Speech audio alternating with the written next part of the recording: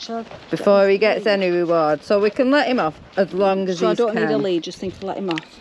I've not touched this thing yet. So even when no, don't let him off yet. Even when you're on walks, you only undo the lead when he's calm. So all this we're gonna walk away from.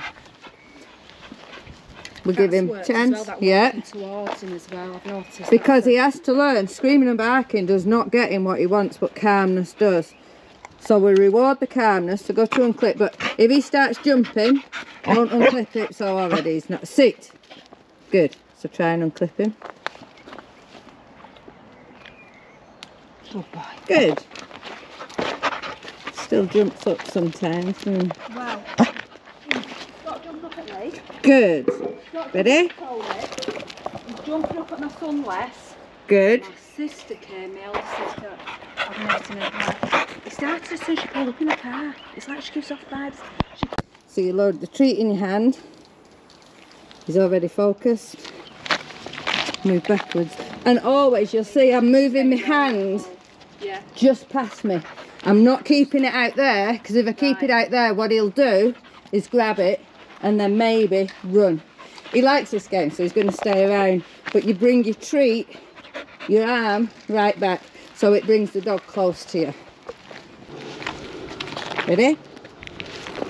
So I'm bringing him in to throw the treat, and when he comes back, there's another treat. There's lots of treats in my hand. Ready? This? This, is what I do all morning. Me. And again, it, I'm not walking back as far now, if you notice, but I'm doing a couple of steps back and luring him back behind my leg. And as he comes back, have your hand down with the other treat in. Give him the treat. Beautiful. I'm beautiful. Perfect. Go again. He's ready again now. Oops, I said the word. Ready. Cut the screen on it. Hand down. Beautiful. Perfect. So he's getting it, isn't he? Everything we did last week with the sitting before we do anything.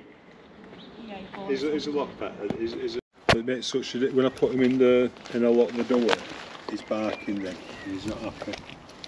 But when I put the tether on him, he, he he's not barking now. He's, he's quite happy. Good. He can wander in and out. There we go. So he kept his bum down then when I took it off.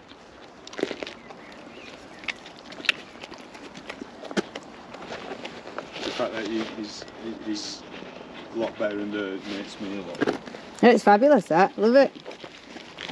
So you see as I'm taking the lead off, I'm putting a treat to keep him in his sit. And this is where then your, your release command would come in. That's what I didn't do. I, I didn't give him a treat or offered him any incentives. Just keeps him a bit still. Down, yeah. Yeah, I'll start doing. I'll try By again. and large, he's, he's, he's good. He had a growl the other night uh, at me when he was going to bed. Oh, what for? No, he just uh, when you get to that utility and he's All right.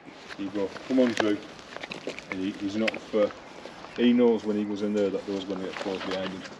So he's still not so keen on that. Uh-uh. No. Right. Beautiful. So literally, uh-uh. you're just going to practice this. But rather than practice it in the morning, you'll have to practice it when you've got time. Good.